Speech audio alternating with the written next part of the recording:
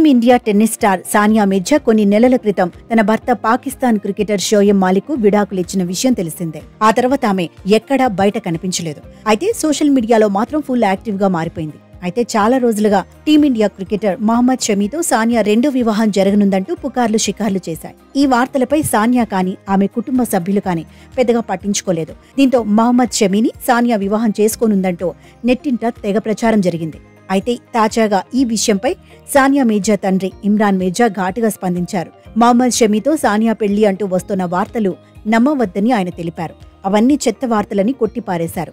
ఇప్పటి వరకు మహమ్మద్ షమీని సానియా కలవలేదని ఇమ్రాన్ మీర్జా కుండ బద్దలు కొట్టారు. ప్రస్తుతం సానియా మీర్జా తన కుమారుడు ఇజహాన్కు పూర్తి సమయం కేటాయించి అతడి ఆలనా పాలన చూసుకుంటూనే వృత్తిపరంగానూ బిజీ అయ్యారు. భారత క్రీడాకారిణి సానియా మీర్జా తన అసాధారణ ప్రతిభ సంకల్పంతో టెన్నిస్ క్రీడలో ఒక ముద్ర వేసింది. మీర్జా రెండు వేల మూడులో ప్రొఫెషనల్గా మారారు. ఆమె రెండు వేల పదహారులో ఆస్ట్రేలియన్ ఓపెన్లో మార్టినా హింగిస్తో కలిసి గ్రాండ్ స్లామ్ టైటిల్ను సాధించిన మొదటి భారతీయ మహిళగా నిలిచింది. కెరియర్లో ఆరు grand slam doubles titles Olympic పథకం సాధించిన సానియా భారతదేశంలోని ఔత్సాహిక టెన్నిస్ క్రీడాకారులకు మార్గం సుగమం చేసిన కీర్తిని దక్కించుకుంది.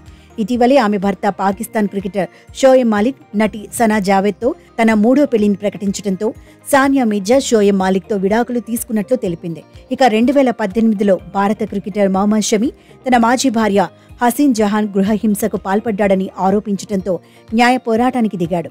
జహాన్ ఆరోపణలు నిజం కాదని తేలడంతో ప్రజల నుంచి షమీకి సానుభూతి లభించింది. తప్పుడు ఆరోపణలు ఒకరి ప్రతిష్టకు హాని కలిగిస్తాయని గుర్తించిన అభిమానులు షమీకి మద్దతు తెలిపారు.